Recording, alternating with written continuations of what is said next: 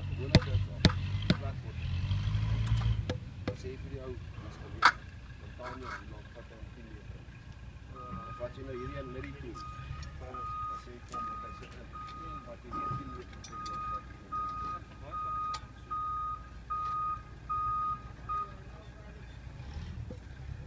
This is land.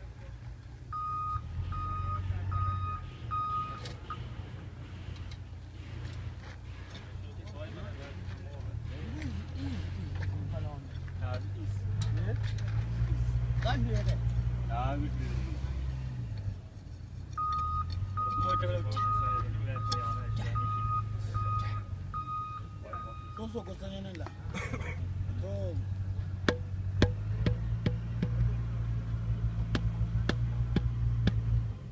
Kar yana edin karo.